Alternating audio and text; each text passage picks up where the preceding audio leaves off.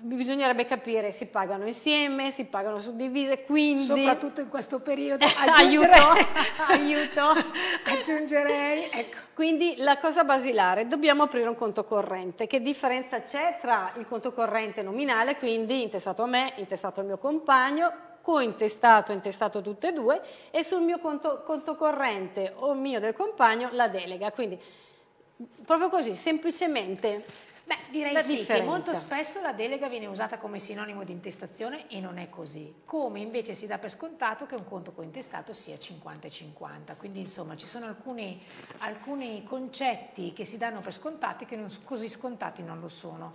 Sicuramente il conto monetato è molto semplice, nel senso che comunque è intestato ad un unico soggetto e corrisponde al codice fiscale di questo soggetto e l'operatività che viene eseguita all'interno di questo, di questo strumento, di questo supporto. Il conto corrente è come se fosse una, è un servizio bancario, ma è come se fosse un contenitore dove noi facciamo arrivare della liquidità e dove noi la facciamo uscire per effettuare le nostre operazioni.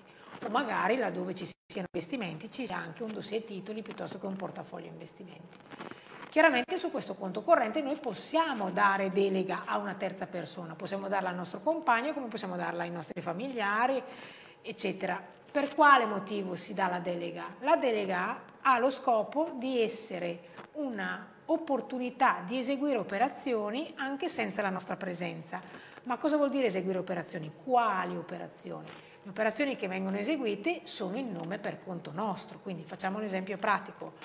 Sono a casa con l'influenza, con il Covid, devo effettuare un pagamento urgente, non ho, ovviamente non ho il collegamento internet, non ho la possibilità di farlo in autonomia, il mio compagno è delegato sul mio conto, devo fare questo pagamento, un bonifico, un pagamento di un bollettino, qualsiasi cosa sia, il mio compagno in nome per conto mio si reca in banca e può fare per effetto della delega, cioè per effetto del fatto che io ho autorizzato la sua persona ad operare per conto mio, ad eseguire questo pagamento. Quindi il mio compagno opera in nome per conto mio. Non è che il mio compagno effettua operazioni sue, proprie, sul mio conto corrente. Quindi se per esempio dovesse avere un assegno circolare, per fare un esempio, intestato a se stesso, non è che è autorizzato a far prendere questo assegno circolare e farlo passare dal mio conto corrente e poi magari prelevarlo o ritirarlo, perché questa non è l'operatività autorizzata. Quindi, questo è importante perché la delega non è estensiva che chiunque, inteso nell'ambito della delega, può fare proprie operazioni sul mio conto. No, lui deve, questa persona, il soggetto autorizzato, il mio compagno, mia sorella, mia mamma, deve eseguire operazioni al posto mio, in sostituzione a me, perché no, in quel momento non potevo. Avere un conto cointestato invece è una cosa ben diversa. Entrambi siamo i titolari, abbiamo la titolarità del conto corrente. Questo quindi cosa succede? Autorizza che sia noi, sia io, che la persona cointestata con me, entrambi possiamo operare, possiamo scegliere se farlo congiuntamente o disgiuntamente, quindi necessariamente con entrambe le firme oppure in maniera autonoma, ma io posso fare le mie operazioni e l'altra persona può fare le sue operazioni perché è un conto cointestato. Chiaramente cosa succede? Perché prima vi ho provocato dicendo si dà per scontato che un conto cointestato sia di proprietà 50-50? Perché poi quando succedono, e la maggior parte delle volte succede nell'ambito della pianificazione successoria, nell'ambito della successione proprio intesa come successione legittima, Succede che alcune persone hanno un conto cointestato, ma in realtà ad alimentare la liquidità presente su quel conto è stato solo uno dei due.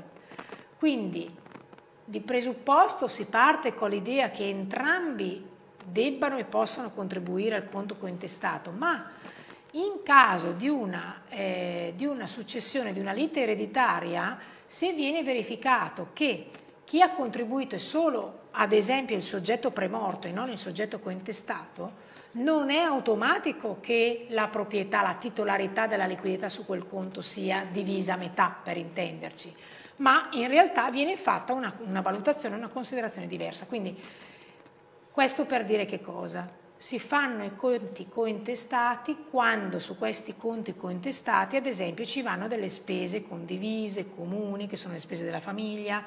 Qual è il criterio? È ovvio che se mio marito ha un reddito che è il doppio del mio come busta paga o come reddito ehm, imponibile, non è che entrambi dovremo mettere 1000 euro lui e 1000 euro io, perché proporzionalmente io potrò contribuire per una liquidità che è inferiore. Però è proprio qua l'aspetto che ognuno per la propria possibilità deve contribuire a questo conto cointestato perché saranno le entrate che vanno a coprire le uscite che sono le bollette piuttosto che le spese condivise. Okay. Molto interessante. Quindi questo aspetto è fondamentale per decidere se fare un conto cointestato oppure no, perché spesso, spesso viene usata la delega come se fosse cointestazione ed è sbagliato, perché per esempio lì a questo, scusami ti ho interrotto, ma la precisazione è fondamentale, se io ho Mario Rossi che è intestato su un conto corrente, su questo conto corrente c'è della liquidità e io sono sua moglie e vengo delegata, in caso di primorienza del signor Mario Rossi, di mio marito o mio, del mio compagno, io non potrò toccare un euro di quel conto, chiaro? Perché viene chiaramente bloccato in attesa certo, della successione. La mia delega non mi autorizza nulla, mentre invece la cointestazione presuppone che la titolarità del conto corrente, a meno che non ci siano fatte altre verifiche, ma la cotitolarità del conto corrente va da sé che io, il mio 50%, possa avere, possa avere accesso al mio 50%.